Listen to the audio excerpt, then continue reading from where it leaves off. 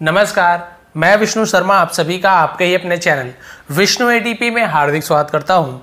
और आज एक स्मॉल स्टोरी लेकर आया, बहुत ही शॉर्ट स्टोरी है, जहाँ पे आपको बहुत ही अच्छी मोरल मिलने वाली है, जैसे कि हमेशा मिलती है। स्टोरी बहुत ही इंटरेस्टिंग है, बहुत ही शॉर्ट स्टोरी है, जल्दी खत्म हो जाएगी। और बहुत सारे नए वर्ड की मीनिंग भी जानने को मिलेगा, लेकिन ज़्यादातर वर्ड्स की मीनिंग आप जानते हैं। तो लेट नहीं करते स्टार्ट करते हैं आज की स्टोरी आज के स्टोरी का टाइटल है the mouse turn into a lion ठीक है? तो इसका मतलब क्या होगा? इसका मतलब होगा कि चूहा शेर में बदल गया। टर्न यानी बदल गया। ठीक है? इनटू यानी में अलायन यानी एक शेर में। चूहा शेर में बदल गया। भाई, ऐसे क्यों बदल गया? क्या हुआ? कैसे हुआ? जानते हैं? अभी क्योंकि बहुत लंबा लंबा से जूम नहीं कर रहा हूँ। थोड़ा सा यहाँ तक आएँगे, हल्का सा जूम कर दूँगा, देखिए। वन डे एक दिन a sage saw a mouse being chase by a cat एक सेज यानी क्या होता है? आ, हम बोलते हैं ना साधु संत उसे सेज कहा जाता है। तो एक दिन एक साधु सा सा यानी देखा सी का पास्ट सा ठीक है सी सा सीन होता है ना? देखा अ माउस एक चूहे को।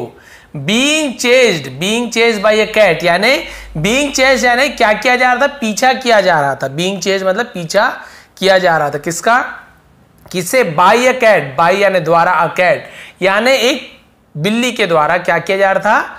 एक चूहे का पीछा किया जा रहा था। यानी सीधी सी बात है, चूहे को बिल्ली क्या कर रहा था? दौड़ा रहा था। भाई वो आप सभी को पता है, बिल्ली चूहे को दौड़ाते ही है। द सेज साधु, सन्यासी with his supernatural power with यानी से, ठीक है हिस यानी उसके सुपर नेचुरल सुपर नेचुरल का मतलब क्या होता है? जिसे हम बोलते हैं अलौकिक। क्या बोलते हैं? अलौकिक? अब यहाँ से थोड़ा सा जूम कर देता हूँ।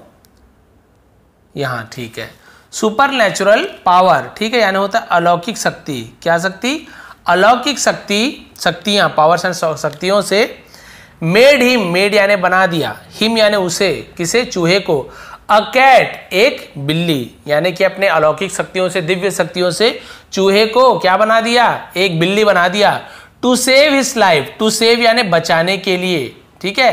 हिस यानी उसकी लाइफ यानी जीवन, जान जिसे हम कहते हैं तो उसके जीवन बचाने के लिए क्या कर दिया? उसे बिल्ली बना दिया। ठीक है, ठीक से सेट नहीं हो पा रहा है। इतना ठीक रहेगा। फिर क्या हुआ देखिए? वन डे एक दिन। अब क्या हुआ? भाई, उसे तो बिल्ली बना दिया कि चलो चूहा चूहे को बिल्ली बना दिया कि अब तुम्हारा पीछा बिल्ली नहीं करेगी, बिल्ली बन जाएगी। फिर क्या हुआ देखिए? एक दिन a dog was chasing this cat एक कुत्ता वॉज़ वॉज़ या वर्ग के साथ ing form past continuous tense was chasing तो चेसिंग यानी क्या पीछा करना। तो पीछा कर रहा था एक कुत्ता पीछा कर रहा था दिस कैट यानी उस बिल्ली की। अब भाई पहले चूहा था तो बिल्ली पीछा कर रही थी। अब उसे बिल्ली बना दिया कि चलो भाई अब तो इसे खतरा नहीं है तो अब क्या कर रहा था? कुत्ता उसका पीछा कर रहा था। फिर क्या हुआ? सो so, इसलिए द सेज साधु ने क्या किया? देखिए turn him into a dog turn यानी बदल दिया हिम यानी उसे इंटू यानी में अ डॉग यानी कुत्ते में। अब उसे कुत्ते में बदल दिया कि चलो भाई, बिल्ली का पीछा कुत्ता करता है तो कुत्ता ही बना देता हूँ, फिर कुत्ता थोड़ी पीछे करने वाला। तो कुत्ता बना दिया। फिर क्या हुआ? अनदर डे यानी अन्य दिन, और किसी दूसरे दिन से अनदर बोलते हैं। दूसरे दिन और किसी दिन the dog was attacked by a lion अब आप समझ गए? द डॉग कुत्ता वॉज़ अटेक्ड यानी उस पर क्या किया गया था? हमला किया गया। वॉज़ अटेक्ड हमला किया गया। बाय यानी द्वारा, अ लायन, एक शेर के द्वारा। अब कुत्ता बना दिया तो एक दिन क्या हुआ? एक शेर के द्वारा उस पर हमला किया गया। शेर ने उस पर हमला कर दिया। The sage turn him into a lion देखिए, बहुत छोटी है, लेकिन बहुत इंटरेस्टिंग स्टोरी आप देखिए सेज ने क्या किया? साधु ने क्या किया? टर्न बदल दिया हिम यानी उसे इंटू यानी में अलायन एक शेर में बदल दिया। बोले, अब तो शेर में बदल दिया, अब तो फाइनली अब हो गया, सब चीज़ खत्म हो गया।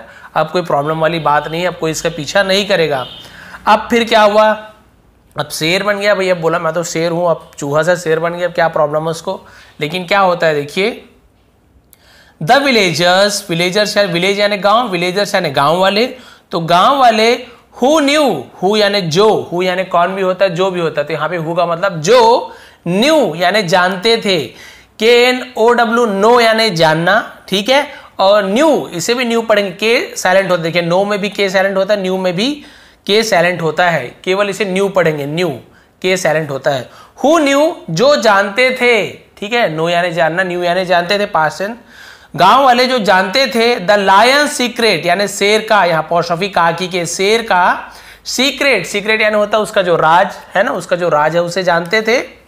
गाँव वाले जो जानते थे used to laugh at him used to used to यानी किया करते थे। भाई, कोई कोई चीज़ हम पहले किया करते तो हम यूज़ टू का यूज़ करते हैं। I used to play cricket मैं क्रिकेट खेला करता था। I used to sing a song मैं गाना एक, मैं गाना गाया करता था। तो कुछ चीज़ किया करते थे, उसके लिए हम यूज़ टू का यूज़ करते हैं। तो जो गाँव वाले जानते थे, उसका राज को कि भाई ये तो चूहा है, वो क्या किया करते थे?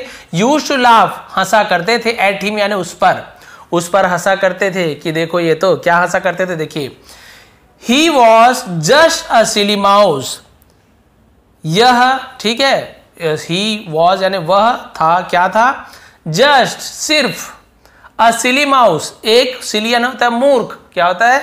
एक मूर्ख चूहा है, एक बेवकूफ़ चूहा है। Pretending to be a lion pretending pretending यानी होता है दिखावा करना। क्या दिखावा करना? नाटक करना। उसे प्रिटेंडिंग बोलते हैं। तो वो क्या कर रहा है? दिखावा कर रहा है या नाटक कर रहा है? To be a lion to be यानी बनने की अ लायन एक शेर बनने की। भाई, सीधी बात आपको समझ आ गया तो गाँव वाले उस पर हंसा करते थे, जानते थे कि ये तो भाई पहले चूहा था और इसे शेर बना दिया गया है।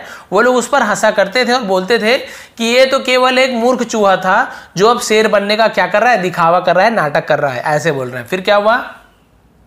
द लायन थॉट शेर ने सोचा थिंक यानी सोचना थॉट यानी सोचा, शेर ने सोचा he could never stop he यानी वह कुड नेवर स्टॉप कुड यानी सकना, क्या सकना? नेवर स्टॉप कभी रुक नहीं सकते। वह कभी नहीं रुक सकता। क्या नहीं रुक सकता? द जोक्स यानी जो जोक्स है, जो उसके ऊपर जो मज़ाक होते हैं, ठीक है? वो कभी नहीं रुक सकते। अंटिल अंटिल यानी जब तक अंटिल यानी जब तक and unless until and unless का मतलब क्या होता है? पूरा मतलब जब तक की तो उसे हम अंटिल एंड अनलेस बोलेंगे। जब तक कि ही किल द सेज वह साधु को मार दे। यानी भाई ये जो मज़ाक है तब तक के नहीं रुकेगा।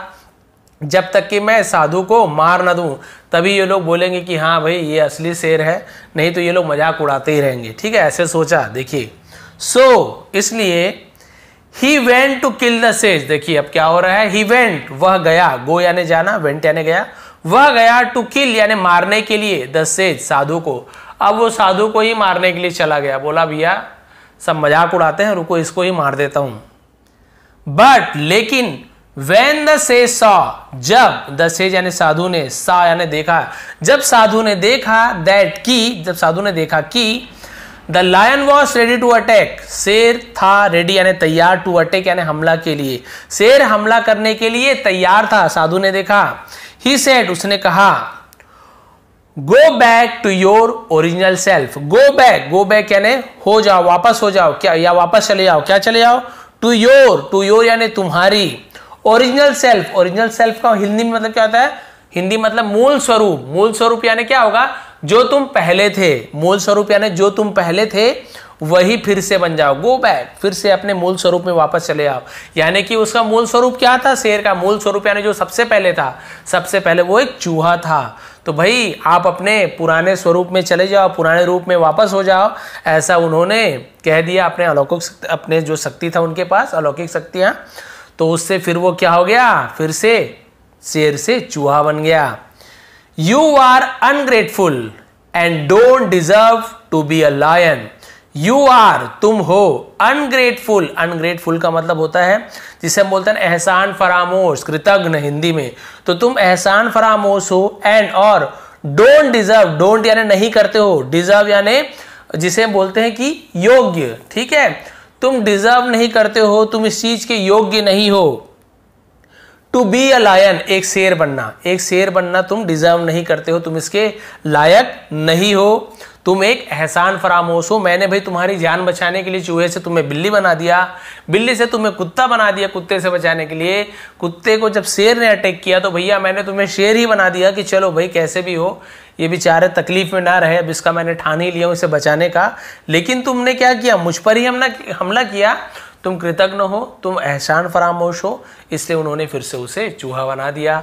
तो देखिए फिर क्या होता है एंड सो इसलिए the silly lion turn back into a lion the silly lion यानी मूर्ख शेर टर्न बैक यानी वापस बदल गया। टर्न यानी मुड़ना भी होता है, बदलना भी होता है।